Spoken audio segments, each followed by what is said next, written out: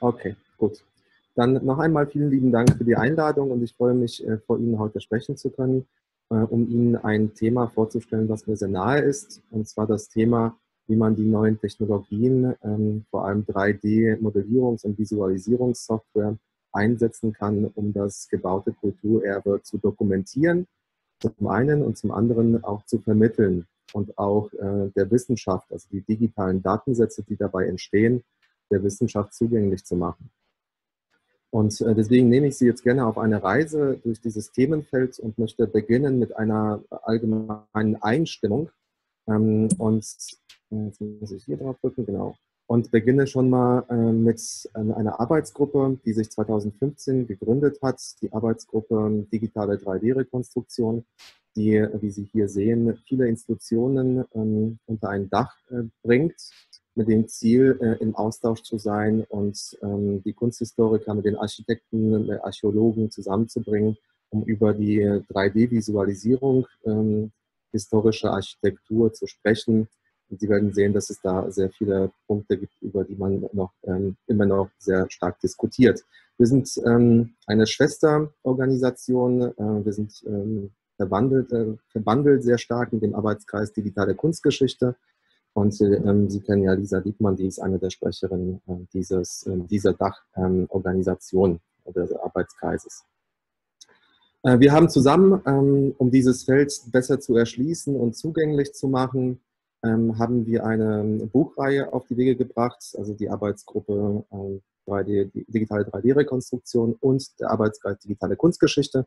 Und diese ähm, Reihe heißt Computing in Art and Architecture, ist ein äh, Print-on-Demand Open Access äh, Buchreihe bei, bei ähm, Art Historicum an der Heidelberg Universitätsbibliothek. Und das war unser erstes Buch, ähm, was äh, Sie zum Lesen bekommen haben.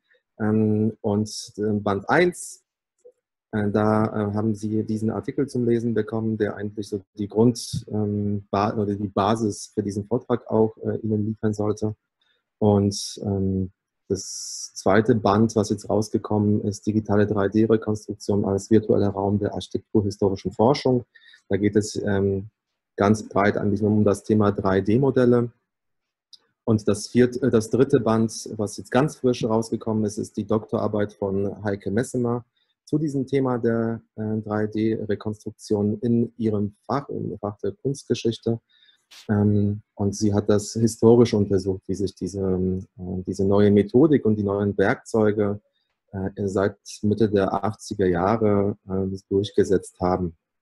Ähm, ja, ich habe gesagt, ich will Sie jetzt erstmal einstimmen über diese Buchreihe, äh, die ja die Basis unserer Diskussion heute nochmal darstellen soll und nehme Sie jetzt auf den Weg über ein paar Bilder. Äh, wir sind alle in der Aufklärungsphase ähm, des, ähm, äh, der, der Digitalität. Wenn wir hier auf St. Peter schauen, als äh, Papst Johannes Paul II. gestorben ist, dann sehen wir hier die trauernde Masse mit Kerzen in der Hand.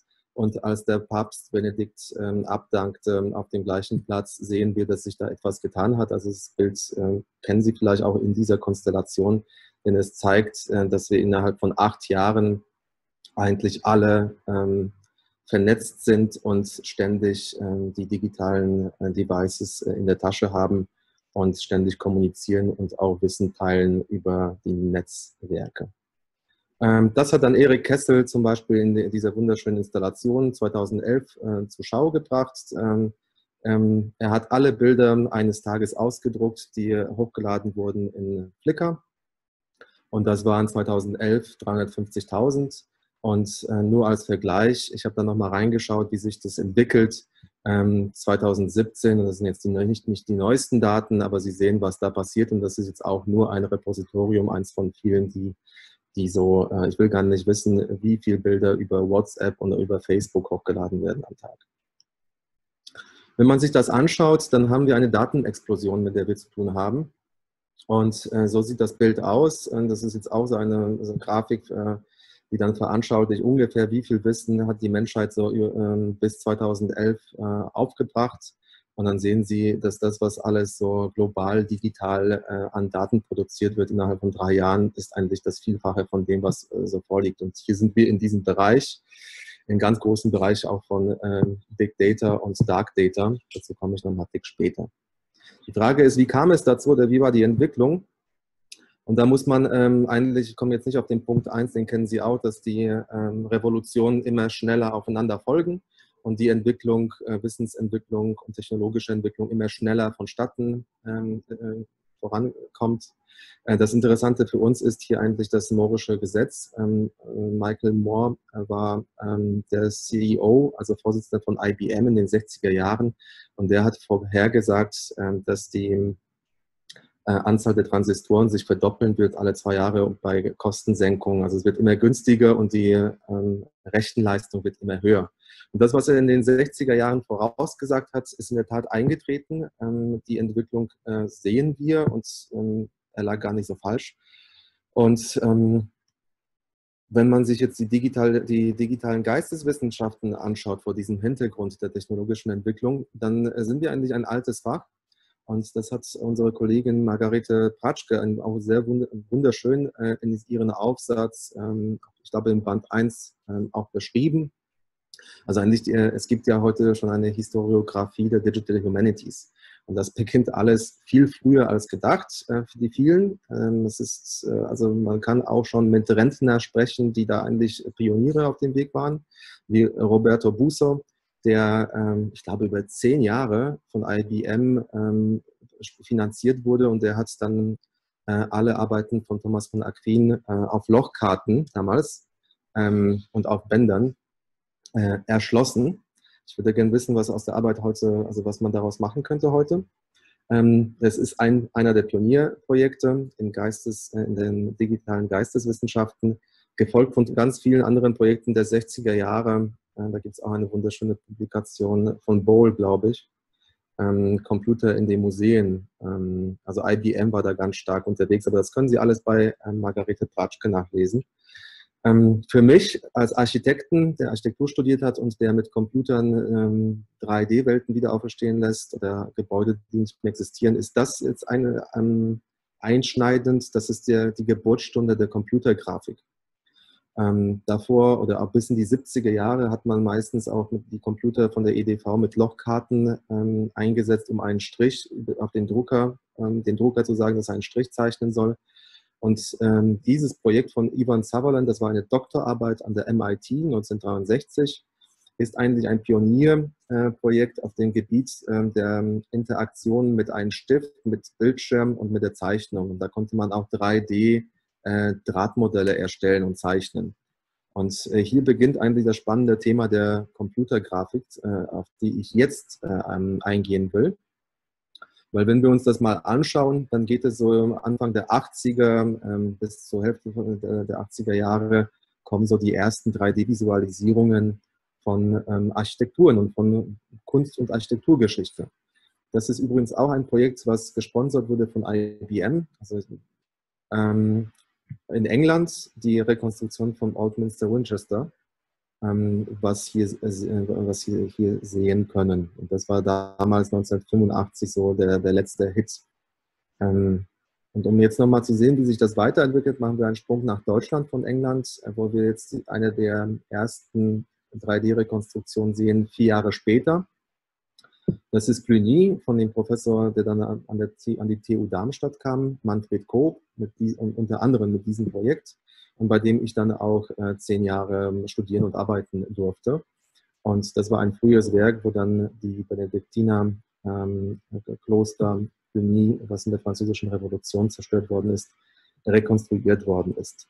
Übrigens für die große Salia-Ausstellung, also oft werden 3D-Rekonstruktionen in der Tat für Ausstellungen ähm, bestellt, geordert und sollen dann ähm, in einer Filmdoku oder innerhalb der Ausstellung ähm, komplexe Sachverhalte und verlorene, gegangene Welten den Besuchern vermitteln. Ähm, das ging dann eigentlich jetzt auch beim COB, dann sehen Sie den Professor mit mir, das war unser Projekt dann 2005 bis 2007 äh, Rekonstruktion aller Entwurfsphasen und Bauphasen von St. Peter in Rom. Dazu gab es auch eine ähm, Filmdokumentation. Äh, und, äh, das ist jetzt ein Mitschnitt aus der Filmdokumentation. Und dann sehen Sie das ähm, alleine an diesem Lehrstuhl seit 1993 bis 2011. Da ist Professor Burg gestorben. äh, mehrere große Projekte, davon sind circa 10, 12 größere Projekte ähm, zur äh, Kaisergräber in China oder Moskauer Kreml oder Vatikanpaläste oder St. Peter, die deutschen Synagogen, um ein paar zu nennen, sind dort unter der Anleitung dann ähm, realisiert worden. Ähm, wie die, äh, damit Sie nochmal die, das kennen Sie auch alle, so die, die Bilder werden immer besser, die, ähm, die äh, Animationen immer fantastischer, fast schon fotorealistischer, über die Texturierung wird das meiste dann geregelt. Und ähm, Schlösser und ähm, eigentlich Lerninstitute, also äh, Museen und, und ähm, Schlösser und Gärten, zum Beispiel Baden-Württembergs, sind immer mehr interessiert an solchen Visualisierungen ähm, und vor allem an solchen Visualisierungen, wenn diese auch wissenschaftlich belegt sind. Und das ist nämlich der eine Knackpunkt bei diesen Projekten, die Wissenschaftlichkeit und die Belegbarkeit dessen, was wir ihnen zeigen. Aber dazu ähm, werde ich ein bisschen später noch mehr erzählen. Ähm, hier sehen Sie eine Produktion ähm, von Faber Cortial aus Darmstadt für die große REM-Ausstellung in Mannheim. Und dann auf einmal sehen Sie hier eigentlich die Welten, wie wir sie von Gladiator und aus dem Sandalenfilm, der ähm, äh, Anfang von diesem Millennium kennen, wo ähm, auch das Kolosseum in Rom ähm, in 3D rekonstruiert ist. Und der Zuschauer, der da mitschaut, denkt, der ist wirklich in, also ist fotorealistisch mit Akteuren und ähm, das gibt die Technologie her, dass wir heute diese Modelle, die Sie hier sehen, die per Hand gemacht werden, auch mit Modellen kombinieren können, die der Computer automatisch generiert, prozedural ähm, weil man natürlich nicht eine Million Gebäude ähm, per Hand erstellen kann, da benutzt man Parameter. Und das ist hier zum Beispiel so ein Beispiel, das ist nämlich die äh, City Engine von ACE. Das ist eigentlich aus der Stadtplanung ein, äh, eine Software, in der sie regelbasiert für die Parzellen von Pompeji äh, die Regeln für eine antike Stadt äh, ähm, deren Software geben können. Und diese baut automatisch prozedural Pompeji aufgrund der Regeln, die sie aufsetzen und der Parzellen, die sie dann äh, der, äh, der Software zuspielen. Hm, das heißt, ähm, die Computer können über Regeln auch automatisch ähm, Architektur nachbauen. Architektur hat auch eine Syntax, weil äh, die römische Architektur ist eigentlich ähm, fast schon eine DIN-Norm alte, sehr vieles ähm, auch ähm, hat der Norm entsprochen ähm, und man kann vieles aufgrund von diesen einfachen Regeln kann man die Buchlesen unter anderem nachbauen. Ähm, jetzt komme ich zu der Spielerwelt die, ähm, und der Problematik, dass wir natürlich auch mit solchen Bildern ähm, konfrontiert werden und diese ähm, geben auch eine Erwartungshaltung bei der jüngeren Generation. Ähm, Assassin's Creed Community zeigt zum Beispiel Venedig der ähm, Renaissance oder hier in, in diesem Teil äh, können Sie dann in Paris eintauchen, Paris der Revolutionszeit, und äh, dann äh, Aufgaben erledigen und durch die Stadt auch laufen. Und ähm, das, was Sie hier sehen, ähm, ist eigentlich eine Darstellung, Computerdarstellung, die möglich ist, die aber für uns in der Wissenschaft eigentlich nicht erreichbar ist. Und das ist auch nicht wünschenswert bei den meisten Sachen, die wir machen. Äh, Nichtsdestotrotz ähm, ist das etwas, äh, was viele heute auch erwarten von den 3D-Rekonstruktionen. Und ich habe meinen äh, Weihnachten ähm, hier verbracht im Wilden Westen. Ich habe mir das Spiel gekauft, weil es jetzt eines der neuesten war, was vor einem Jahr rauskam, kurz vor Weihnachten. Und da können Sie im Wilden Westen, also ich habe früher gestern, ich habe früher sehr gerne Western geguckt und ehrlich zu sein, taucht man hier ein in diese Welten und ist, ist, ist ein, fühlt man, man fühlt sich teilweise wie ein Schauspieler nur in Westernfilmen. Ähm, also das zeige ich nur, weil, weil diese, äh, das, was Sie hier sehen, immer mehr Einzug halten wird und äh, die junge Generation, äh, wenn wir über Web 3D sprechen, ähm, für die wird es wahrscheinlich auch selbstverständlich sein, dass man in diese realistischen Welten eintauchen kann. Ähm, wieso die so toll aussehen, zeige ich in diesen zwei Folien. Die sehen so toll aus, weil sie 2016 äh, 100 Milliarden äh, Euro im Jahr Umsatz, ähm, 100 Milliarden Dollar im Jahr ähm, Umsatz hatten. Und ich zeige Ihnen jetzt den Sprung zwei Jahre nach vorne. Ähm, das sind schon 140 Milliarden Dollar Umsatz. Das heißt, hier in dieser Spielewelt ist einfach verdammt viel Geld drin. Und diese großen Player wie Rockstar oder Ubisoft, Die haben einfach verdammt gute Leute an Rechnern sitzen und verdammt gute Softwarepakete, die sie dann auch ähm, programmiert haben, um diese Welten zu erstellen. Also jetzt, ähm, und ähm, das werde ich jetzt kurz überspielen. Das ist äh, ein Film ähm, über die Player One, äh, den vielleicht der eine oder andere gesehen haben, wo es auch äh, darum geht, dass man entflieht in Zukunft äh, in eine Parallelwelt, ähm, die, das heißt, es findet immer mehr Leben, wie jetzt in den Corona-Zeiten im Digitalen statt. Und da wird es große Anbieter geben, die dort ähm, ein Verweilen ähm, ermöglichen und äh, je bessere Welten sie schaffen werden. Und hier ähm, weise ich nochmal auf äh, Ontologically Anthropocentric Sensory Immersive Simulation, den Namen von dieser Software, weil ich auch gleich über Ontologien sprechen werde, äh, zeige ich diesen Film auch nochmal.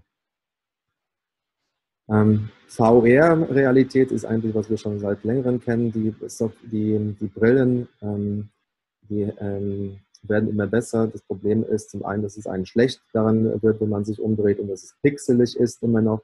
Ich zeige das äh, Bild hier, weil in Polen ein deutsches äh, Answalde, eine deutsche Kleinstadt in Pommern, die zerstört worden ist, rekonstruiert worden ist. Das sehen Sie hier im Film.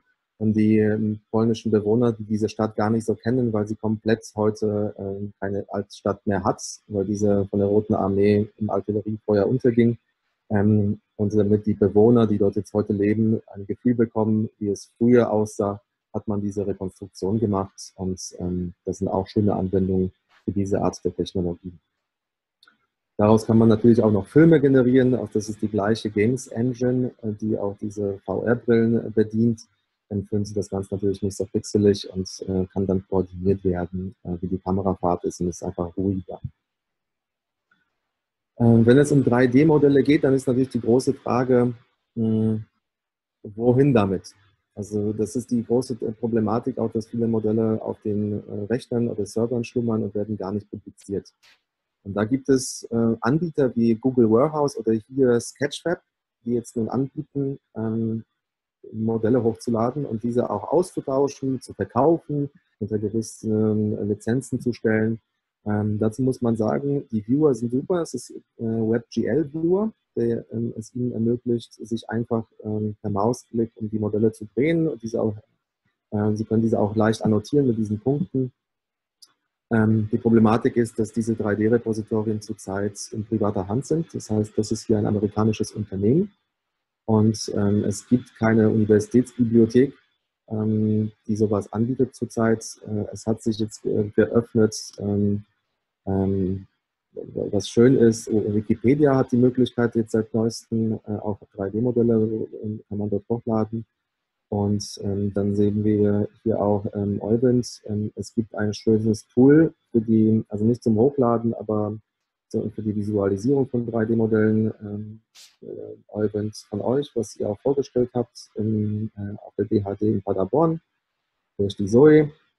Kompakt, glaube ich, heißt es. Ähm, ähm, also es gibt verschiedene Lösungen, wie man jetzt 3D-Modelle äh, online webbasiert zeigen kann. Und es gibt die großen Repositorien, das sind Sketchfab und Google Warehouse zurzeit. Und wir warten immer noch auf eine Lösung, dass ähm, die Universitätsbibliotheken äh, uns sowas anbieten. Ähm, das zeige ich nur, was hinter Sketchfab liegt. Also Sketchfab sehen Sie, wie viele Millionen in so eine Entwicklung reingesteckt werden eine Firma aus New York, die dann Geld gesammelt hat und mehrmals mehrere Millionen bekommen hat, um diese Plattform aufzubauen. Und wir tun unsere Modelle auch da hochladen. Kann sein, dass die Plattform morgen abgeschaltet wird. Dann kann man sie nicht mehr interaktiv sehen. Deswegen legen wir unsere Modelle auch immer ab ähm, bei uns in der Forschungsumgebung, die ich Ihnen vorstellen werde, dass sie nochmal da sind. Aber wir nutzen Sketchweb nur zurzeit für die Visualisierung in 3D. Ähm, Sketchweb in Numbers 2018 äh, drei Millionen Modelle und ähm, jetzt gehe ich zu Sketchfab ähm, und zeige Ihnen noch ein schönes äh, Projekt. Ähm, das Bild kennen Sie alle, Schlafzimmer von Gogh. Und das habe ich mir auch angeschaut. Irgendjemand hat das nachmodelliert in äh, Sketchfab und bietet das äh, zur Verfügung. Und natürlich bekommen Sie jetzt hier einen an, Sie steigen quasi in das Bild rein und sehen die Interpretation eines Modellierers, der, der diese auch mit Ihnen gerne teilt und deswegen hat er das da reingestellt. Und Sketchweb äh, bietet jetzt auch seit äh, circa zwei Jahren die Möglichkeit, ähm, auch äh, mit der Brille diese Modelle über VR sich anschauen zu können. Äh, VR nimmt jetzt auch immer mehr Einzug in, in Museen. Ähm, die Museen nutzen die Technologie, um den Besuchern ähm, noch neue Räume ähm, zur Verfügung zu stellen. Sie können zum Beispiel in ein historisches Atelier, wie hier in Tate Modern von Modigliani, eintauchen und sehen dann die Werkstatt des, äh, des Malers und des Künstlers ähm, also solche Angebote von Tate Modern bis hin ähm, in Moskau, als ich äh, letztes Jahr im Oktober war, in der Peterburg-Galerie, haben sie dort äh, den äh, Gancharova und Malevich auf die gleiche Art und Weise ähm, hier vorgestellt, dass man auf einmal mit zeichnen konnte und Bilder projizieren konnte, wie die, wie die russischen Avantgardisten das auch getan haben. Dann also so spielerische Einwände und äh, die Nutzung der Technologie ist gerade im Kommen. Ähm, ein ganz anderes spannendes Thema ist ähm, solche ähm, in, interaktiven Zugänge zu den Modellen, wie hier an der Bauhaus-Universität in Weimar. Ähm, das ist von den Kollegen Fröhlich äh, das Lab, äh, wo ganz große Datenmengen ähm, so aufbereitet werden, dass man mit denen ähm, im Team zusammenarbeiten kann und dass man diese zerlegen kann, Screenshots legen kann, dass man in diese Schlösser sich reinbewegen kann.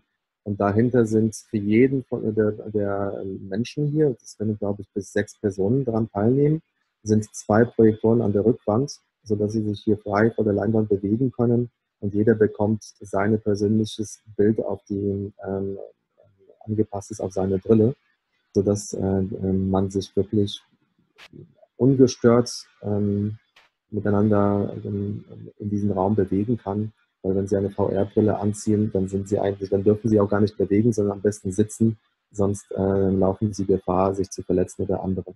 Und hier kann man sich frei bewegen. Und da waren wir auch letztes Jahr und haben, äh, das habe ich jetzt mal aufgenommen, weil der eine Kollege steht hier an der Wand, jetzt werde ich mich mal gleich umdrehen, und der andere auf der gegenüberliegenden Wand. Ähm, insofern würde ich mich jetzt mal kurz gleich umdrehen. Da, so sieht das bei denen aus in diesem Lab. Da ist der andere Kollege und sie sehen sich, also sie können sich gemeinsam in diesem Raum treffen und dadurch diesen Raum fliegen und ähm, da sehen sie den anderen jetzt. Und so funktioniert diese Technologie. Also es, ähm, leider kostet diese, äh, die, so eine Wand zurzeit noch 120.000 Euro. Ähm, insofern äh, ist natürlich da auch die Frage, inwieweit das jetzt nochmal einsetzbar ist, äh, in Lehre zum Beispiel äh, in, in naher Zukunft. Ähm, die Bauwelt ähm, setzt jetzt auf die Augmented Reality Helmets. Das ist nochmal das andere, was jetzt so im Kommen ist. Ähm, vor allem in Zeiten von Fachkräftemangel ist das ein großes Thema dass zum Beispiel Instruktionen, wie etwas zu bedienen ist, über solche Augmented Reality also erweiterte Realität-Anwendungen projiziert wird. Das heißt, Sie ziehen seinen Bauhelm an als Techniker und bekommen gleich die Anleitung für jedes äh, Gerät, wenn Sie zu den Kunden fahren und sehen dann, äh, was Sie betätigen müssen oder worauf Sie achten müssen.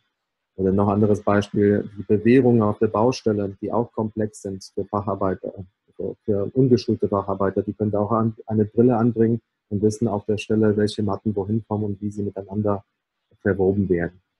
Es geht bis hin zum ähm, Mercedes-Benz, dass sie eine Brille haben, äh, damit äh, sie äh, das Rad an ihrem Mercedes-Benz wechseln können. Da gab es auch an, auf der IAA vor zwei, drei Jahren, ähm, als es die noch gab, in Frankfurt, ähm, schöne Anwenderbeispiele. Singularität, wenn Sie das jetzt alles sehen, dann prophezeit man, also Singularität in den technologischen ähm, Bereich bedeutet, ähm, das ist ja eine äh, Zukunftstheorie, äh, der, theoretische Zukunftsforschung, die sagt voraus, dass ähm, ein Rechner, und da sind wir wieder bei Mo, äh, Moore's Law, also bei den ähm, äh, Gesetzen von Michael Moore, ähm, dass ein Rechner irgendwann mal die Rechenkapazität hat von allen menschlichen ähm, Hirnen. Und äh, das wird prophezeit auf 2045. Ähm, Insofern, ähm, man weiß nicht, wann es eintritt, aber es wird eintreten. Es wird eine große Überraschung geben, weil die Rechner dann auf einmal selber lernen werden und selber viele Sachen, das sagt man voraus, selber viele Sachen für uns und ähm, vielleicht auch für die Welt und vielleicht uns auch absetzen, das wissen wir nicht. Ähm, dieser Zeitpunkt wird wahrscheinlich kommen. Und ähm, da sind ein paar große Dinge zu nennen, wie zum Beispiel Deep Blue schlägt den Schachweltmeister, das war, glaube ich, äh, in den 90er Jahren, äh, 96. Und wenn Sie sich das jetzt angucken, dann haben wir hier ein paar Jahre später, äh, genauer gesagt 20, äh, schlägt AlphaGo ähm, den ähm, Go-Meister. Das ist das komplexeste Strategiespiel, das die Menschheit erfunden hat. Und das Neue hier dabei war, dass dieses AlphaGo selbst ähm, die Regeln äh, ge gelernt hat, indem äh, AlphaGo äh, gegen, gegen, sich selbst gespielt hat. Und hier sind wir bei neuronalen äh, Netzen und bei der künstlichen Intelligenz, äh, wo wir gerade jetzt äh, den Hype haben in der Forschungs- und Förderlandschaft in Deutschland. Alle setzen jetzt auf KI. Ähm, ich nenne jetzt nur äh, Bayern und die Initiative 100 KI-Professuren innerhalb kürzester Zeit zu implementieren. Insofern studieren Sie KI, dann werden Sie bestimmt äh, demnächst Professor.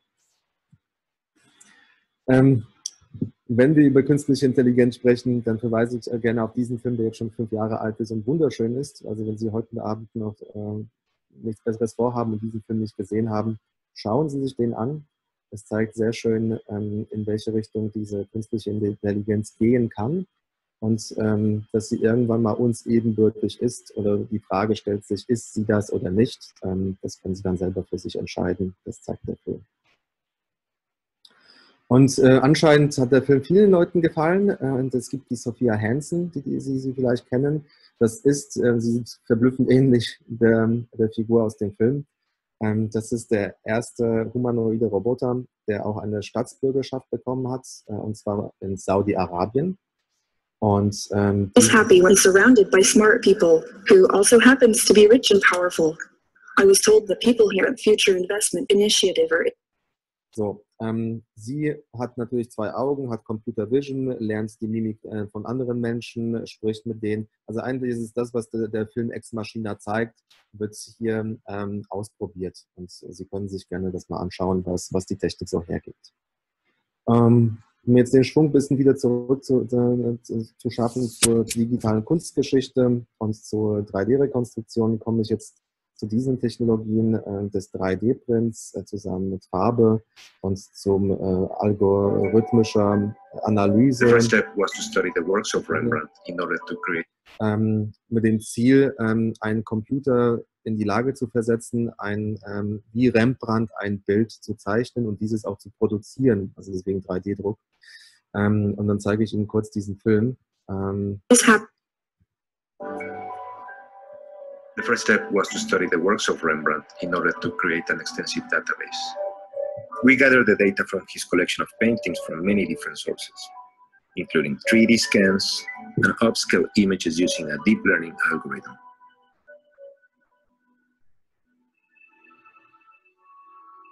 Because a significant percentage of Rembrandt paintings were portraits, we analyzed the demography of the faces in these paintings, looking at factors like gender, age, and head direction. The data led us to the conclusion that the subject should be a portrait of a Caucasian male with facial hair between 30 and 40 years old, in dark clothing with a collar, wearing a hat, and facing to the right. From there, we started to extract features only with faces that were related to that specific profile. We had to create a whole painting from just data and we used statistical analysis um, and various algorithms to extract the features that make Rembrandt Rembrandt. We took parts of the face and we started to compare them. And then, based on this, we're able to create a typical Rembrandt eye or nose or mouth or ear. After generating the features, we were focusing on the face proportions. We used an algorithm that can detect over 60 points in a painting. We were able to align the faces and to estimate the distance between the eyes, the nose, and the mouth and the ears.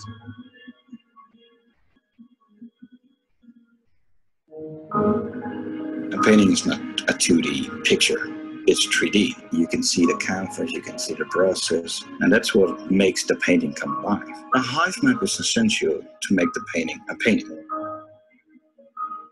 We incorporated the height map into the painting. and printed on a 3D printer that uses a special paint-based UV ink. It printed many layers, one on top of the other, which resulted in the height and texture of the final painting.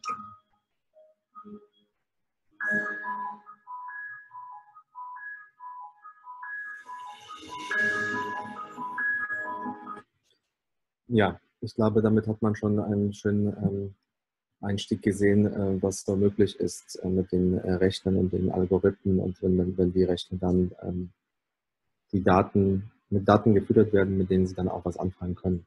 Und ich komme jetzt auch zu diesem großen Thema, äh, das ist eigentlich, äh, über was ich hier sprechen will und äh, ich will eigentlich über nichts anderes sprechen mit Ihnen als über Daten und zwar digitale Daten. Ähm, ein paar Anwendungen haben Sie ja schon gesehen. Und ähm, ich fange damit an, dass wir diesen riesengroßen äh, Datenmengen produzieren, Tag ein, Tag aus. Das äh, haben Sie auch schon gesehen. Und das ist die Prophezeiung, äh, die auch stimmt, äh, dass, äh, dass die Daten auch von 2013 bis 2020 äh, extrem potenzial wachsen. Und was Sie links sehen, ist das, äh, worüber ich sprechen will, dass die meisten Daten eigentlich keine strukturierten Daten sind. Also ist, man spricht auch von dunklen Daten oder Big Data. Das sind einfach heterogene Datensätze von Bildern, Tabellen, PDFs, äh, Word-Dokumenten, ähm, also ganz unterschiedliche Daten, die ähm, viele auch keinen Standards ähm, international unterliegen und die dann auch nicht lesbar sind in, in also man, die Computer verstehen die Bedeutung dieser Daten nicht. Und das sind große Projekte, die versuchen, ähm, diese Daten zu Big Data zu entziffern und äh, sich dann äh, zunutze zu machen. Ähm, und was Sie hier sehen, ist, dass nur ein kleiner Bereich eigentlich diese strukturierten Daten ausmachen, die dann ähm, so vorliegen, dass die Bedeutung für die Rechner lesbar ist. Und das führt dazu, dass wir in den digitalen Projekten eigentlich auch von großen digitalen Elefanten, Elefantenfriedhöfen sprechen können, wo viele große Projekte im digitalen Bereich, aber nicht nur, nach ein paar Jahren nicht mehr rekonstruierbar sind. Das heißt, man kommt an die Daten nicht ran. Ähm, und das ist die Frage, die sich natürlich stellt, wie müssen wir unsere Projekte angehen, ähm, im digitalen gedacht, dass, äh, dass wir einen Mehrwert schaffen und dass die Daten nachhaltig sind und äh, da gibt es ein paar Ansätze. Das Große ist, dass wir ähm, immer noch ähm, eine Silo-Architektur haben von geschlossenen Repositorien auf den Servern in den Instituten. Wir benutzen oft proprietäre Formate. Das heißt, wenn ich in Illustrator was zeichne, ein Poster oder ein, äh, und es speichere als Illustrator-Datei und jemand Adobe nicht hat oder Adobe stirbt in zehn Jahren, ähm, dann kann man diese Dokumente nicht mehr öffnen. Und das andere ist, dass viele Kollegen ähm, einfach diese Arbeit auch scheuen äh, und kümmern sich nicht um die, um die Strukturierung und die Datenablage und deswegen äh, uns auch diese Daten nicht teilen wollen. Deswegen, man macht es für eine Deadline eines Projekts und danach kommt das nächste Projekt.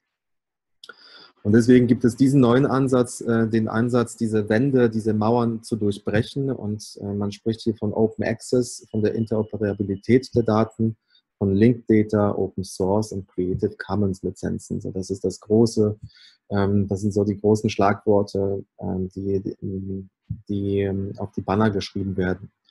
Und wenn ich schon darüber gesprochen habe, dass das alles nichts Neues, was ich hier Ihnen erzähle, ähm, und dass, die, dass es seit den 50er Jahren die digitalen äh, Geisteswissenschaften gibt, dann äh, verweise ich auch sehr gerne auf dieses Zitat äh, von dem Herrn Heusinger, der 83 äh, gesagt hat, also Herr Heusinger war der Direktor vom Foto Marburg äh, in ähm, dem Deutschen Dokumentationszentrum für Kunstgeschichte. Und er sagt, da die elektronischen Datenverarbeitung mechanisch vorgeht, zwingt sie uns, ihr unsere Forschungsergebnisse in konsequent formalisierter Gestaltung zuzuführen.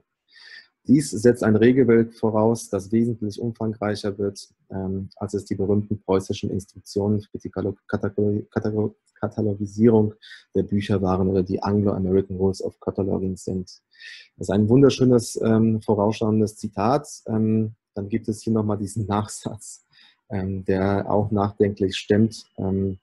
Gewiss wäre es ideal, wenn wir alle vorhandenen Informationen sammeln und damit den Weg zum Kunstwerk unter allen möglichen Gesichtspunkten eröffnen könnten.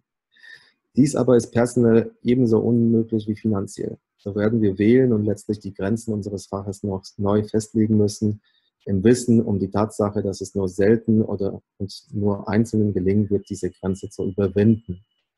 Ähm, Das ist schon ein großes Thema über Datenmodellierung und Erschließung äh, von, ähm, von dem Kulturerbe ähm, in einer Art und Weise, dass die Computer damit ähm, Operationen machen können, dass die operabel sind. Das heißt, dass man mit den Daten überhaupt irgendwas anfangen kann. Und da ist natürlich die große Frage, wie muss man das oder wie macht man das, um das Feld nicht zu sehr einzugrenzen, um, die, um alle Möglichkeiten ähm, und, und Fragestellungen, vor allem der Geisteswissenschaften, abzubilden. Das ist natürlich eine ganz große Herausforderung. Das Web Development werde ich einfach überspringen, weil Sie das alle so kennen. Web Development der 90er Jahre, 1 ähm, Plus, ähm, das erste. Das zweite sind die sozialen Medien, dass man auf einmal nicht nur liest, sondern auch ähm, Blogs und äh, Facebook hat. Und das dritte, dritte Web, Web 3.0, wovon man heute spricht, ist dieses Web von Linked Data und von strukturierten Datensätzen und von von einer Aufarbeitung der Daten auf, äh, in, einer Art und Weise, dass man, ähm, dass die Computer ähm, damit ähm, Operationen machen können. Time flies is actually almost 20 years ago when I wanted to reframe the way we use information, the way we work together. I invented the World Wide Web. Now, 20 years on, Ted, I'm to ask your help in a new reframing. So now, I want you to put your data on the web. Turns out that there is still huge unlocked potential. There is still a huge frustration that people have because we haven't got data on the web as data. What do you mean data? What's the difference? Documents, data? Well, documents you read, okay. More or less, you can read them, you can follow links from them, and that's it. Data, you can do all kinds of stuff with the computer, like he did. But I want to think of about a world where everybody has put data on the web, and so virtually everything you can imagine is on the web. And I'm calling that linked data. The technology is linked data, and it's extremely simple. Ja, hier haben Sie den Erfinder von äh, World Wide Web oder einen äh, Initiator gehört, den äh, Tim Berners-Lee, der frustriert war, was er da so erfunden hat und der diesen Ansatz jetzt auch propagiert. Ähm, und dahinter steht auch das ähm, World äh, Wide Web ähm, Konsortium. Und ähm, das ist so sein Einsatz und das ist äh, diese Stufen, finde ich, sind, zeigen das sehr schön. Er sagt, ähm, das ist schon mal gut, wenn Sie eine PDF hochladen, da bekommen Sie einen Stern. Ähm, eine ähm, kommabasierte Tabelle ist schon mal besser äh, oder das ist schon drei Sterne, wenn Sie da sowas haben, weil man die Computer damit ähm, arbeiten können besser. Äh, wenn Sie äh, Resource Description Framework, dieses RDF benutzen, ähm, da sind sie schon äh, toll, weil sie dort Ontologien anwenden. Dazu komme ich gleich. Äh, ein Datenmodell aufsetzen, was wirklich genau beschreibt, was ihre Forschungsdaten sind. Ähm, und das Größte ist, wenn Sie Ihre Datensätze, die Sie mit RDF beschreiben, also in einer Syntax, ähm, ähm, wenn Sie diese, Ihre Datensätze auch noch mit Datensätzen ähnlichen, die woanders sind, von anderen verlinken, dann kommen Sie zu Linked in Klammer Open Data. Und das ist dieses Fünf-Sterne-System, was er vorschlägt. Ähm, und das ist nichts anderes als eigentlich ähm, RDF, das sehen Sie oben, Resource Description Framework. Das ist dieses Syntax beschreibende Subjekt, Prädikat, Objekt. Und dahinter stehen dann, ähm, zeige ich Ihnen gleich, ähm, was dahinter steht. Und linked heißt einfach, dass, dass diese, Ihre Daten, die so beschrieben sind, mit anderen Datensätzen verbunden sind. Und ähm, das sieht dann so aus, äh, Subjekt, Prädikat, Objekt, dass Sie im Datenmodell beschreiben, Goethe, äh, Prädikat ist eine Person, er sendet einen Brief und dieser Brief ist datiert und wird gesendet ähm, aus Weimar. Und äh, wenn Sie hier Weimar reingeben, ist, dann weiß der Rechner, äh, dass das ein Ort ist und dann müssen Sie, äh, das, das, sind so Codes, die dann mitkommen aus den Datenmodellen. Ähm, und bei Personen, ähm, wenn Sie hier Goethe nennen, ähm, dann wird Goethe über, das sieht man hier, über ein Authority-File, also über normierte Normdaten, äh, zum Beispiel der Deutschen Nationalen Bibliothek. Ähm, da gibt es einen Goethe, den können Sie hier mit Goethe verlinken. Dann wissen die Rechner automatisch, dass es nur der eine Goethe ist, den sie meinen und nicht ein anderer. Genauso mit den anderen Sachen, da gibt es diese Norm Normdaten, die man nutzen kann. Und ein großes äh, Thema für mich auch in meinen Arbeiten ist äh, CDOC-CRM, weil wir dieses, äh, ähm, diese Referenzontologie ähm, nutzen, um unsere 3D-Modelle zu beschreiben. Und äh, CDOC CRM ist ein Datenmodell, äh, was ähm, im RDF auch benutzt werden kann und äh, was ähm, die, wie so eine Lingua Franca in dem ähm, Kulturbereich agiert, äh, weil es wirklich ein ganz allgemeines Konzept ist, bestehend auch ungefähr 90 Klassen. Das sind diese Entities, wie zum Beispiel eine Aktivität, Informationsträger oder Bild oder Person E21, das sind Klassen. Diese Entitäten circa 90 Stück und ähm, die Beziehungen zwischen denen, das haben Sie ja gerade bei Goethe gesehen auch, davon gibt es ungefähr 150. Und mit diesen 150 Beziehungen und den 90 Klassen kann man eigentlich fast alles beschreiben, immer ausgehend von der Aktivität. Das ist so eigentlich so der Schlüssel äh, bei diesem äh, Konzept, dass man alles aus Aktivitäten beschreibt. Ähm, äh, aus der, das ist ereignisbasiert oder aktivitätenbasiert. Man spricht auch event-centric. Also das Silozem ist event-centric, weil es aus Events, also Aktivitäten alles beschreibt.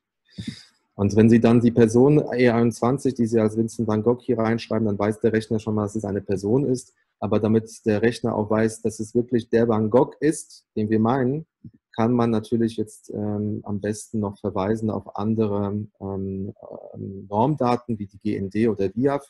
Und dann äh, geben wir den Stempel jetzt in den Systemen, in der virtuellen Forschungsumgebung zum Beispiel, wo man dann solche die Daten so erschließen kann und dann weiß der Rechner, dass es auch dieser ist. Und das Ziel des Ganzen ist eigentlich, dass man diese Wunderkammer des Wissens, äh, dieses leibnizianische Gedankengut hat, dass äh, die Museen und Institutionen nicht mehr separat für sich in ihren Silos und äh, in ihrer Disziplin ähm, ähm, alles nur für sich betrachten, sondern dass wir diese Verlinkung, Verknüpfung des Wissens über die Fachdisziplinen hinaus äh, mit, mittels dieser Technologien vorantreiben. Und so macht das das British Museum zum Beispiel oder der, äh, das Reichsmuseum, die sind jetzt alle dabei, äh, ihre, ihre Datenbanken auch auf CDOC CRM zu mappen. Ähm, und äh, das sind Großprojekte, ähm, das, ähm, die dann stattfinden. Und äh, wenn ich dann davon spreche, dann haben natürlich alle Institutionen ihre eigenen im Laufe der Jahre erstellten Thesauri zum Beispiel, die Louvre, sehen Sie hier um ähm, die Louvre äh, mit 11.000 oder Getty, oder Reichsmuseum zu Personen, zu Ereignissen, zu Orten. Und ähm, jetzt ist es so, dass sie untereinander in Verbindung kommen, dadurch, dass sie zum Beispiel Louvre ihre Personen, zum Beispiel den Goethe, mit dem von Getty äh, äh, Personenverzeichnis verlinken. Und Reichsmuseum macht das Gleiche mit ihren Goethe. Und dann ähm, entsteht dadurch noch eine zusätzliche Vernetzung auch äh, und, und Klarheit für die Rechner. Ähm, und diese Linked Data Development, also ähm, im Zentrum dessen steht eigentlich die Wikipedia. Das ist nichts anderes als das Wissen aus Wikipedia, was dann, ist, glaube ich, ist ein Projekt aus Leipzig, was dann ähm, umgewandelt wird äh, in ADF, äh, also in Resource Description Framework, dass es dann ähm, auch äh, besser lesbar ist, semantisch erschlossen ist äh, und strukturiert für die, für die Rechner. Und sehr viele Projekte beziehen, also Linked Open äh, Projekte beziehen sich halt darauf, deswegen ist es auch in der Mitte. Und ich zeige hier einfach nur ein paar Bilder. Äh, das ist 2009, das ist 2011, äh, das ist 2014 und irgendwann mal habe hab ich auch keine Grafiken mehr gefunden. Aber immer mehr ähm, in verschiedenen Sparten, die sind hier in, in Farbe dargestellt, immer mehr Datensätze sind im Netz äh, zu finden, die, ähm, äh, die diese fünf Sterne anstreben und äh, die diese äh, Daten so aufarbeiten, dass sie miteinander in Verbindung kommen und dass die Rechner auch die, die Bedeutung verstehen. Und äh, Mapping the Republic of Letters war ein wunderschönes Projekt äh, von Stanford University. Ähm, da wurden alle Briefe ähm, von den ähm, äh, Gründungsvätern äh, von USA, äh, Korrespondenzen mit, mit, mit anderen Personen weltweit, die sie geführt haben. Und dann hat man diese Daten alle ähm, erschlossen, also wie, wie diesen Goethe-Brief oder dieses Beispiel mit Goethe. Franklin hat mit dem und dem gestorben, den Brief hat er an dem Tag geschrieben und an den und den geschickt. Und wenn man dann diese ganzen Korrespondenzen richtig erschließt, dann hat man die wunderschöne Möglichkeit, jetzt auf einmal nach verschiedenen sozialen Milieus und den Aufkommen in den Jahren zu unterscheiden oder ähm, mit wem Voltaire zum Beispiel geschrieben hat, mit welchen Persönlichkeiten aus welchen Ländern. äh, wer mit wem wie, wie dick ver, äh, verbandelt war in der Korrespondenz oder auch äh, solche Lokationen, also äh, mit, mit äh, wo hat das Ganze quasi ähm, in der Topografie stattgefunden, also räumlich gesehen. Und das sind alles, alles Sachen, die man dann aus den Daten rausziehen kann. Und ähm, damit komme ich zu den 3D-Modellen von mir, ähm, zu dem Themenfeld, was ich Ihnen vorstellen will. Hm, da gibt es eigentlich seit 1990er Jahren ähm, die ersten, das war vom König, die ersten Publikationen ähm, über und die ersten Diskurse über 3D-Rekonstruktion und die drei, digitalen 3D-Modelle. Und ähm, in den Modelle Tugend zum Beispiel, in der Publikation von 2000, ähm, kam schon die Kritik an den ganzen Sachen, an der Visualisierung, computerbasierten Visualisierung, weil ähm, die, äh, Stefan Hoppe spricht da immer von der digitalen Fußnote, ich glaube sogar in der Publikation der Modelle Tugend in der ersten.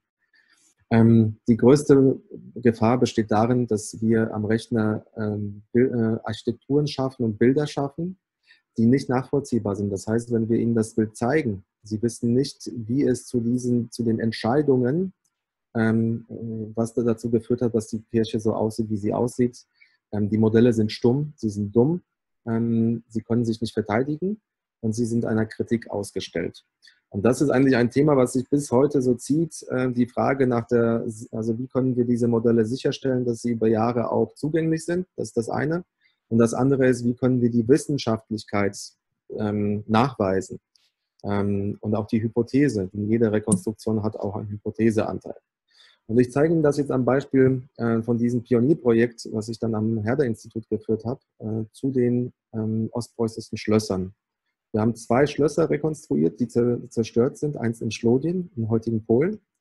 Ähm, da fliegen wir über die Bauruine. Das war 2014. Ähm, und äh, Vorwerk dahinter. Und Sie sehen dann hier, dass das Ganze 2017 abgetragen worden ist. Da gibt's, äh, wurde komplett bis zum Keller abgetragen. Und es wird gerade neu gebaut mit einer Wärmedämmung und das Schloss entsteht wieder. Also nur so, dass Sie sehen, dass die Thematik nicht nur virtuell ist, sondern manchmal wird es auch real, äh, real wieder aufgebaut. Und wenn man sich, äh, wir waren ja mit der Rekonstruktion beschäftigt von diesem Schloss, ähm, dann sieht man erstmal, dass wir auf Quellen angewiesen sind, weil unsere Architektur, die wir rekonstruieren, zerstört ist, beziehungsweise gar nicht mehr vorhanden ist. Das heißt, wir rekonstruieren aus äh, historischen Bildern. Und hier hatten wir das Glück, dass unter anderem Frau Dreischow hier ähm, im Bild zu sehen noch gelebt hat. Und sie hat die ersten 20 Jahre in dem Schloss noch gelebt und sie hat ihr Album mit uns geteilt und uns Geschichten erzählt. Zusätzlich haben wir das Ganze hier noch digital erschlossen und hatten noch historische aus, von der polnischen Denkmalpflege Bauaufnahmen aus den 70er Jahren. Ähm, die 3D-Rekonstruktion basiert darauf, dass wir Quellen äh, über meistens über Fachspezialisten, also über Fachmitarbeiter ähm, wie Kunsthistoriker oder Archäologen sammeln ähm, und zu den Objekten, die wir Modellierer, meistens Architekten, ähm, brauchen, um diese dann räumlich zu verstehen und räumlich aufzubauen. Und dann entstehen Modelle, verschiedene Versionen und Varianten. Und es eignet sich für uns, CDOC CRM anzuwenden, also dieses Datenmodell und darüber nachzudenken, wie können wir diese Prozesse, also es sind ja auch Aktivitäten, eine Rekonstruktion ist ein Ereignis, eine Aktivität. Ich bezahle einen wissenschaftlichen Mitarbeiter, gebe ihm Quellen und er ist in Kontakt mit Kunsthistorikern, er spricht, modelliert, das sind Ereignisse. Und ähm, insofern haben wir auch Ereignisse in der Mitte, die hier an Hochschulen stattfinden zu einem Zeitpunkt. Wir haben Akteure, die da mitmischen, ähm, historische und lebende. Wir haben Objekte, die wir rekonstruieren und wir haben Quellen. Das ist die Basis. Und ähm, wenn man sich das anschaut, dann kann man das nämlich sehr schön in ein Modell überführen. Und unser Modell hat eigentlich auch diese Top-Level-Classes, so nennen wir sie. Das sind unsere Haupteintragemasken und auch Hauptklassen. Und ähm, diese haben bei uns in unserem System immer zuerst eine Klassifizierung dass wir erstmal überhaupt sagen, was ist das für eine Aktivität oder was ist das für ein Objekt oder was ist das für eine Quelle oder was ist das für eine Person. Und da benutzen wir die Normdaten. Ähm, hier Getty AAT oder GND, äh, da nutzen wir unterschiedliche Daten. Und da können wir jetzt schon bei der Erschließung in unserem System, was Sie gleich sehen werden, dann können wir, wenn ich die Aktivität anlege, dass ich an dem Tag zum Beispiel 3D-Rekonstruktion mache, ähm, dann kann ich diese auch ähm, rausnehmen aus äh, Getty AAT und die hier äh, reinnehmen und der Computer weiß schon die Bedeutung dieser Aktivität. Hm, die, äh, die Taxonomie, also die Gebäude, die wir rekonstruieren, setzen sich aus verschiedenen Teilen und die kann man semantisch oder äh, topologisch aufteilen. Und äh, das tun wir auch hier. Das sehen Sie jetzt, das ist aus SketchUp, äh, dass die Wände modelliert werden, innen, außen bis hin zu jedem einzelnen Raum. Das ist hier der Gartensaal.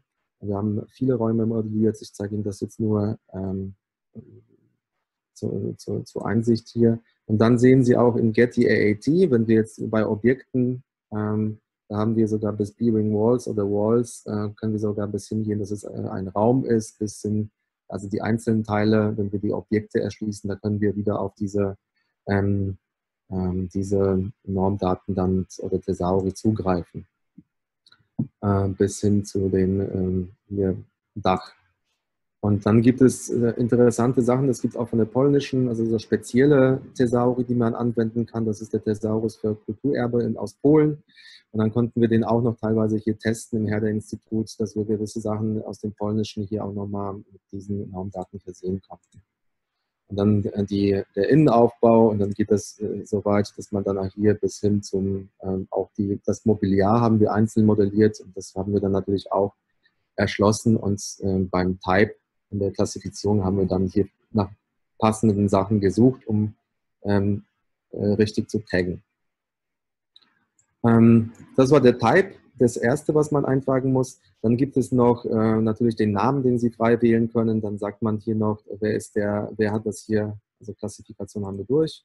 Identifikation, da beschreibt man einfach, so gut es geht, was das ist. Da würde ich jetzt zum Beispiel schreiben, 3D-Rekonstruktion vom, ähm, vom Bildnis des Königs äh, in Preußen zum Beispiel.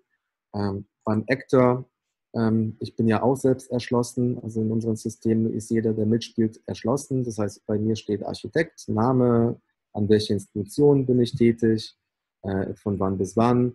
Und dann, wenn ich hier die Aktivität eröffne, dann schreibe ich hier meinen Namen und dann bin ich mit der Aktivität verbunden. Das ist das Zentrale bei Rekonstruktion, dass wir sagen, welche Quellen habe ich jetzt äh, zur Verfügung, um zum Beispiel dieses Porträt zu rekonstruieren. Ähm, das andere der zweite Fall ist, dass wir nicht rekonstruieren, sondern selber Quellen erstellen. Denn wir haben nie vollständige Quellenlage, sondern haben meistens große Lücken und müssen sehr viel selbst im Kopf durch die Interpretation der vorliegenden Quellen und das die Erfahrung schließen. Das heißt, wir produzieren selbst bei der Rekonstruktion sehr viele eigene Quellen, Handskizzen, die irgendwie die Lücken schließen. Deswegen gibt es auch die Möglichkeit, eine Aktivität zu starten einer Rekonstruktion oder eine Aktivität zu starten einer Selbsterstellung einer Quelle. Also das sind ähm, Möglichkeit A oder B. Ähm, das ist jetzt A, ähm, das ist jetzt nämlich das andere.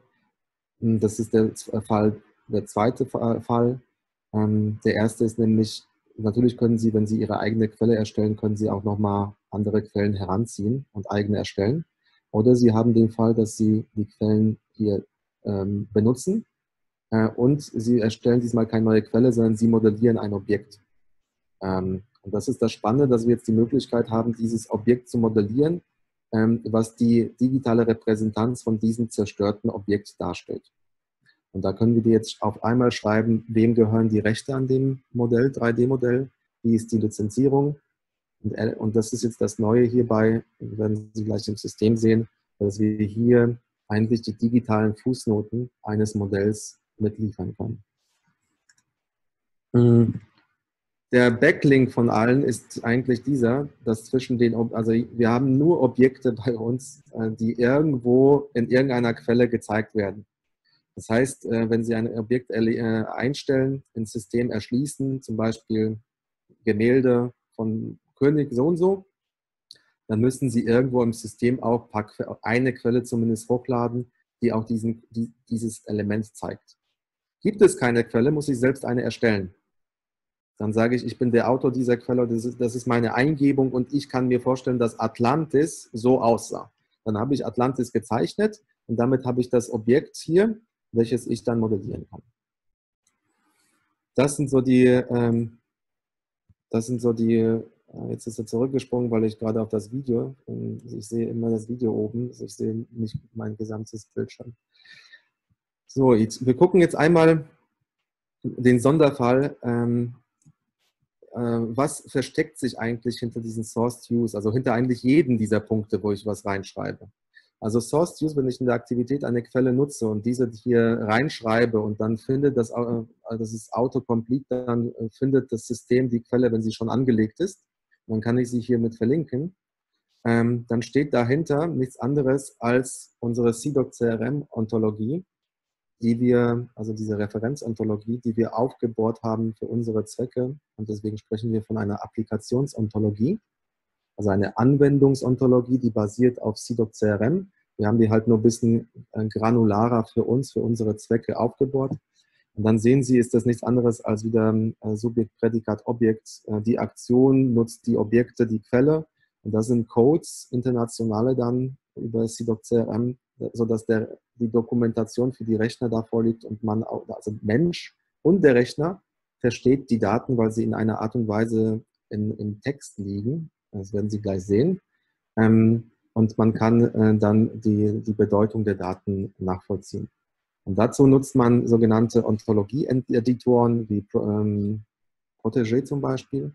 Und dann sehen Sie hier, das ist ein Screenshot daraus, das ist, äh, da lädt man die Ontologie, das ist CDOC CRM. Und dann diese äh, fetten Sachen ähm, in Bold sind dann unsere Sachen, die wir selbst erstellt haben. Die hängen dann an den äh, ähm, Entitäten von diesen CDOC CRM, sind aber von uns hier nochmal annotiert und stellen unsere Anwendungsontologie dar, die dann auch auf GitHub äh, publiziert ist.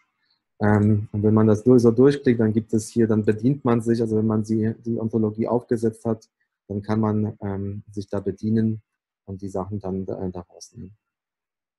Dann haben wir natürlich die Möglichkeit, Freitexte auch noch reinzusetzen und dann natürlich auch 3D-Objekte zum Beispiel oder Bilder hochzuladen, also diesen Top-Classes bei der Erschließung auch hinzuzufügen.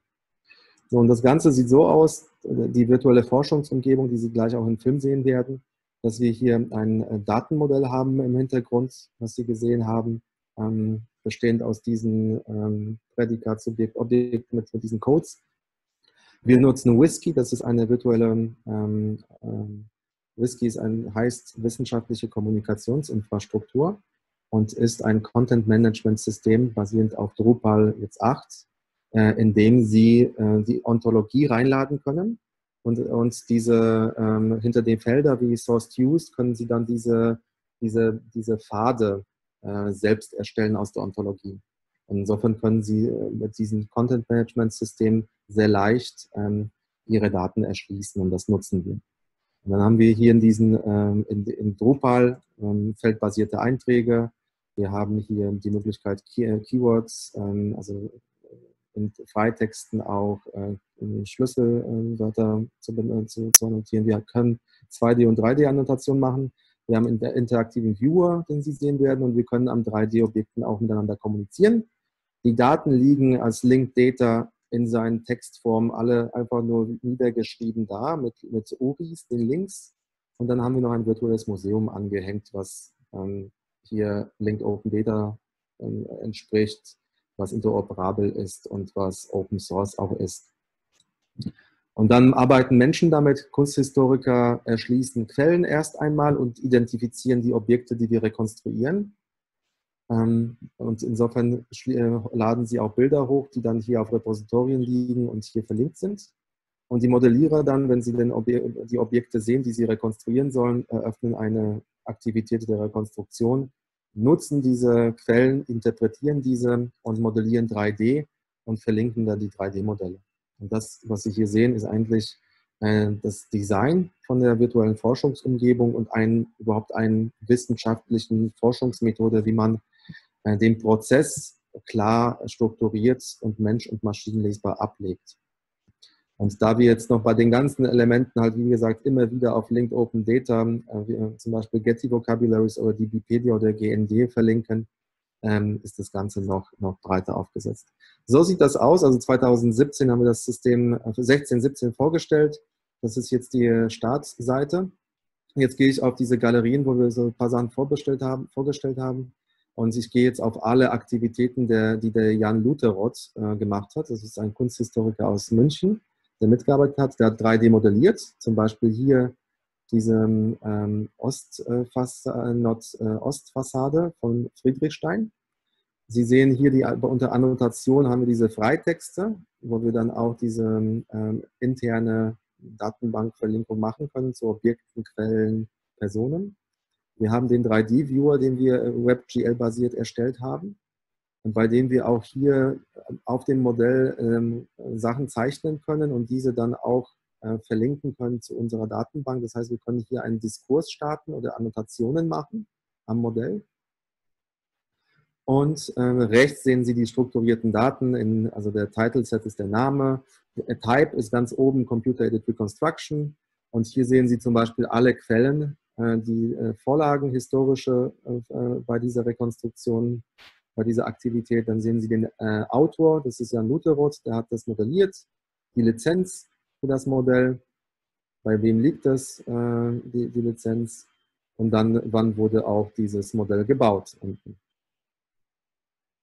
Und wenn man jetzt, äh, jetzt gucken wir mal, wie sich der, ja, genau, ist das jetzt nochmal, genau, und das ist jetzt, äh, wenn ich, ich kann auch springen zu der Person, so ist der Personeintrag mit den wichtigen Daten von Jan Lutheroth und Get the AAT oben, Art Historian ist eingebettet und dann alle Aktivitäten, in denen er teilgenommen hat, sind hier automatisch aufgeführt. Das heißt, man kann auch sofort sehen, was er alles so gemacht hat.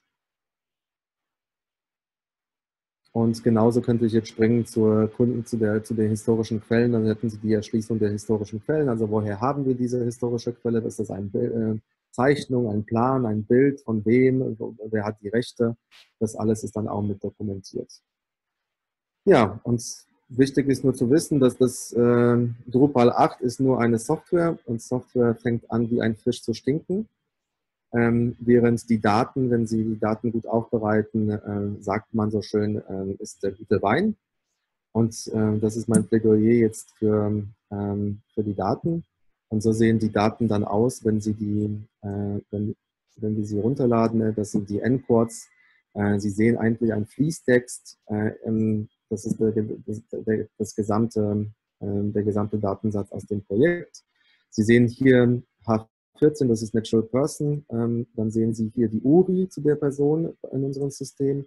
Und so sieht äh, diese URI, wenn man die anklickt, dann landet man bei der Person. Das ist die Marion Dönhoff, die wir natürlich auch erschlossen haben. Und ähm, diese Person Marion Dönhoff äh, ist dann in diesem System auch so beschrieben, ähm, dass zum Beispiel Friedrichstein ist ein Ort. Wir haben auch einen Eintrag zu Friedrichstein mit Geonames. Marion Dönhoff ist eine Person. Sie beschreibt den, also es gibt wirklich ähm, ein Buch, wo sie dann den Gartensaal beschreibt. Der Gartensaal wiederum ist bei uns ein Objekt, was wir 3D modelliert haben. Gartensaal ist eine, ein, ein Zimmer, was modelliert wurde von Jan Lutheroth, ist gezeigt in den Quellen, ist Teil von Schloss Friedrichstein. Und äh, so sind die Daten hier alle beschrieben und jeder von diesen Einträgen, ähm, die Sie hier haben, hat bei uns auch in der virtuellen Forschungsumgebung bei den Top-Level-Classes Object Source, Person ähm, und Activity ähm, ein, ähm, eine Darstellung. Aber das ist nur die Darstellung, die kann sich auch ändern in zehn Jahren, wenn Drupal nicht da ist. Wichtig ist, dass die Daten so folgen. So, jetzt sind wir wieder bei Marion Dönhoff. Dann sehen Sie den GND-Identifier, ähm, den wir hier drin haben. Insofern äh, weiß der Rechner auch, dass wir die Marion Dönhoff meinen, die dort gelebt hat. Und beim Ort haben wir Kamionka, das ist der russische Ortsname. Wenn ich auf den Ort klicke, dann haben wir auch Orte erschlossen. Dann gibt es die Mehrsprachigkeit von den Ort. Dann sieht man, welche Personen, die in unserer Datenbank dort gelebt haben oder gestorben sind. Und dann sieht man auch hier, die, äh, das haben wir nachgezeichnet in äh, OpenStreetMap. Ähm, da wir, kann man nochmal diesen Ort, diese Ruine nachzeichnen und die Polygone dann reinsetzen. Ja, dann haben wir auch hier bei uns Getty, ähm, also diese Verlinkung aus den Daten zu den anderen äh, Normdaten ähm, geübt mit GND und Getty AAT. Und jetzt komme ich zu der Vermittlung, weil das ist jetzt eigentlich der Kern der Arbeit ähm, und das ist das virtuelle Museum. Das virtuelle Patrick, ich sollte dich daran erinnern, wenn du eine Stunde hast und die ist jetzt ja schon drüber. jetzt durch auch. Das ist das virtuelle Museum, das heißt, Sie sehen das gesamte Modell zusammengesetzt in den WebGL-Browser ähm, und Sie können sich dadurch frei bewegen mit Maus, äh, lenken Sie den Blick, mit, äh, mit den Tasten können Sie durchlaufen. Wenn ich auf die Tür klicke, öffnet sich die. Und Sie sehen, wenn ich jetzt diesen Raum betrete, das ist der Gartensaal, dann sehen Sie auch, ähm, dass, jetzt lädt dass Sie unten diesen Kurztext haben mit auch dem Link, wenn ich auf die Objekte klicke, den Link direkt in die Datenbank von uns, also direkt ins, in diese, da sieht man es unten, wenn man da draufklickt. Äh, also das ist diese Verlinkung zum, ähm, zu der Datenbank, das heißt die Objekte, die einzelnen, die Sie hier anpicken, da bekommen Sie die, die Bilder zu sehen und können dann direkt, auch wenn Sie das interessiert, in diese Forschungsumgebung äh, reingehen. Und das gleiche Modell kann man auch nochmal schön machen, dass ich das reinlade in solche Software wie Lumion. Und dann kann ich Kätzchen reinsetzen, Blümchen pflanzen, ähm, rechts ist das Schloss. Und äh, wenn Sie dann äh, zufrieden sind mit dem, was Sie da so gepflanzt haben und Farbe drauf gemacht haben, Pferdchen reingestellt haben, Lichtverhältnisse gemacht haben, die Kamerafahrt eingestellt haben, dann können Sie den Film rendern. Und dann sieht er so aus. Das ist heute kein Hexenwerk, sondern äh, das ist eine Sache von äh, zwei, drei Arbeitstagen und Renderzeit von ungefähr äh, halben Tag mit einem guten Computer. Und dann können Sie, das ist so ein bisschen die, die Software, die man so benutzt, auch bei den Spielen, können Sie diese Bilder generieren aus, aus den, sage ich mal, ein ähm, bisschen trockeneren ähm, äh, Forschungsmodellen, die äh, nicht diese Anmutung äh, erfüllen, die manche Museen haben wollen. Das wäre an der Stelle schon der, der Schluss. Ähm, ich würde jetzt nur äh, die überspringen, weil das ist jetzt das, wir haben jetzt noch die Synagoge Breslau ähm, äh, gemacht, seit, äh, das, das, war das neueste Projekt. Und dann zeige ich Ihnen nur noch, ähm, was wir bei der Synagoge gemacht haben. Da haben wir äh, auch einen Film in, äh, in Lumion gemacht, ähm, von der Breslauer Synagoge, wo wir dann ähm, eine Begehung, also rum, rumgeflogen sind und auch reingehen. Ähm, das spannende Neue ist, dass man auch die Möglichkeiten hat, ähm, anders an diese Gebäude zu erinnern mit digitalen Medien. Man kann eine Spiele einbauen, das die Kollegen aus Darmstadt machen, in der zum Beispiel ein Rendering von dem Innenraum der verloren gegangenen Synagoge zu sehen ist, und zwar in dieser 3D-Brille. Oder man kann es auch so machen, wie wir es gemacht haben, dass man Augmented Reality anwendet. Man baut eine Postkarte, die man auch verschicken kann. Man hat einen Tracker, das ist dieser Grundriss. Man ähm, stellt eine AR-App in, in, die, in, in die ähm, Google Android-Laden oder im, im Apple Store. Und wenn ich dann jetzt meine Kamera drüber halte, dann haben Sie dann hier die Synagoge und man kann dann über die Punkte noch zusätzliche Informationen abrufen und Sie können die Postkarte mit der Synagoge, man kann auch Schnitte einbauen und verschicken. Mit dem Blick auf die Zeit würde ich sagen, habe ich Ihnen einen Ritt nochmal äh, durch das Projekt vom Herder auch gegeben und auch äh, eine großen Einleitung gegeben und das, was mich so beschäftigt, was die Grundlagen davon sind, äh, was mich treibt. Ich hoffe, es hat Ihnen gefallen und ich freue mich auf eine Diskussion.